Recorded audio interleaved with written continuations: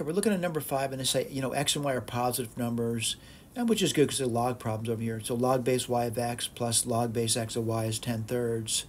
Find the product, oh, I'm sorry, and the product xy is 144. Evaluate x plus y over 2.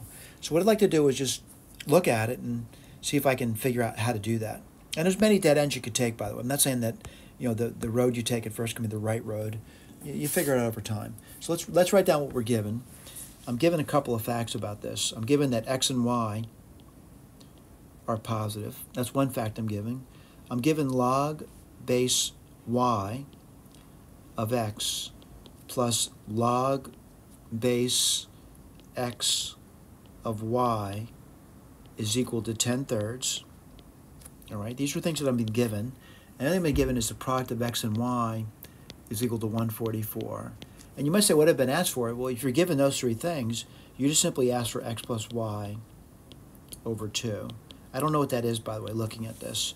So what I want to do is I want to, you know, possibly get this, you know, it looks really tough to, to you know, maybe use base change formulas. I don't know, maybe that, that'll work, but I'm looking at this thing and I'm making a substitution. And I want to say I'm going to let u equal, and I'm going to let u equal, let's write this down. So log base y of x. And I really don't like logs, by the way, so I'm going to rewrite this a little differently. I'm going to write this an exponential. I'm going to say y to the u is equal to x. All right? y to the u is equal to x. And let me see what I'm going to do now. y to the u is equal to x.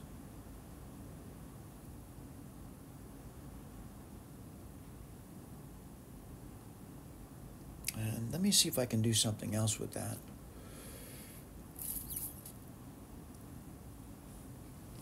Hmm, let me think. Let me look at the other guy. And it looks like the guy, maybe I could do something with that. I mean, I think I can. And the reason, I, you know, someone said, what'd you just do over here? I just did this thing here. But then I'm looking at this thing over here, and it doesn't really look like that, but I think I could get it to look like that. And I'll write that down for you. So I'm going to write down log base x of this y to the u would equal log base x, let me put this in parentheses, of x. Well, I certainly know what the right side is 1, and the left side I get u times log base x y. So I have this business And then I'm looking at this over here, and I have log base x of y is 1 over u. And so I have this thing too now. And let me write that down for you. So what do I get? Log base y of x is u, and log base x of y is 1 over u. And what's that equal to? 10 thirds. And someone says, what'd you just do over there? You know, not much, right? Not much. But I can solve this equation. And what do you get? I'm going to multiply both sides by 3u. You get 3u squared plus 3 equals 10u. 3u squared minus 10u plus 3 is equal to 0. I'm trying to solve for u, by the way. And what do you get over here? 3u u, 0, 3, 1, minus, minus. Let me see if it works, by the way. 3u squared, you get that. Minus 9 minus 1 is minus 10. Plus 3, yeah, looks okay. What do you get over here? u equals 1 third, or u is equal to 3. Okay, what do you do now? I don't know. I guess you go back and try to figure it out. So let's take a look at that. And I'm told that x times y is 144. I'm given this log equation over here. And let's write that down. All right? So I'm going to say log base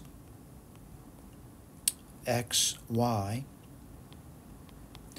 Let's just pick this one first. What are you going to get? You're going to get 1 third. And then I'll do the other equation. What's the other one going to be? Log base y of x is equal to u, which is just 3. Now, sometimes if I did the one-third, you know, what would you get there? I'll put that down for you. If I did that, I'll write that down for you. You get log base x of y would be 3, and log base y of x would be one-third. So it looks like I'm getting almost the same thing, good symmetry over here. Then I, I got to figure out what to do about that, all right? So I'll write this down, and uh, I'll write them separately for you, and I'll write this one over here. This means y equals x to the one-third power, which is the cube root of x. And if I did the second equation, what would I get? I'd get x equals y cubed. Well, you know what? They had the same meaning to me. If you look at that, you know, x equals y cubed, same thing as saying y equals the cube root of x. Let's put the other one down. I'll do this one over here. I'm trying to figure this out. So this one says y equals x cubed.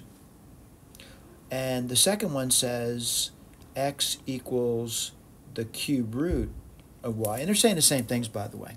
All right? So I got some symmetry over here. And I'm, I'm kind of concerned about this. But I'll be honest with you, I got some information over here that I want to kind of use. And the information I want to use is this information over here. That x times y is 144. So I'm going to write that down. x times y. So let's take a look. x times y is 144. Right? This is something I've been told, right? So what would that be, x times y? Let's take a look. x times y is 144. So y is really the cube root of x, right? And then I get x over here, and that equals 144. All right, let's take a look at that. And what would I get there? You'd get x, well, it's 1 plus 1 third, which is 3 thirds plus 1 thirds is 4 thirds, equals 144. So I can say x equals 144 to the 3 quarters. All right, looks pretty tough, doesn't it? Let's write this over here. x equals, I'm going to put 144 down for you. It's, an, it's an interesting number. 2, 72, 2, 36, 2, 18, 2, 9. So really what am I getting over here? I'm really getting 2 to the fourth power and 3 squared. All right? Let me write that down for you. 2 to the fourth power. 2 to the fourth power is 2 times 2 is 4, 8, 16. And 16 times 9 is 144. And that's going to be the 3 quarters. All right?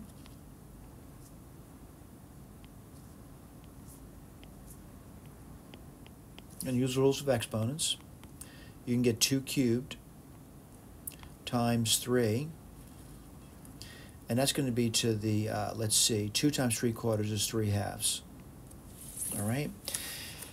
Wow, that looks like a tough one, doesn't it? Let's take a look at that. x equals 8. And I would get the, um, that's 3 halves is 1 and a half, so it's going to be 3 and then root 3. All right? What do you get there? x equals 24 root 3. All right, that's not so bad. I got this. Now, the question is, what's y? Well, you know what? I go back up here, and I think I could probably figure it out. Let's write this down. So x times y is 144. So x is 24 root 3, and I got the y, and I got 144. So let's write this down. y would be 144 divided by 24 root 3. All right, let's divide through. All right, and it, it doesn't look that bad because I, I realize that 144, it has an 8 in it. It has a 24 in it, by the way. How do I know that? 2 times 2 times 2 is 8, and then a 3 from over here. So it's really 24 times 6. And you'd have 24 root 3. And the, these cancel off. I can multiply top and bottom by root 3. And what's y going to be equal to? Well, it's going to be 6 root 3 over 3, which is 2 root 3s. I'll write that down for you. Now, by the way, if you want to play around with the other ones, you can. You're going to get the same values, by the way. Uh, what I mean by that, those two values, 24 root 3 and 2 root 3. But that's not their question. What's their question going to be? Let's go back to it. I think their question was this. What's x plus y over 2? Well, let me write that down for you. 24 root 3 plus 2 root 3 over 2, which is 26 root 3 over 2, which is 13 root 3s. And that's the final answer, 13 root 3s. Thank you.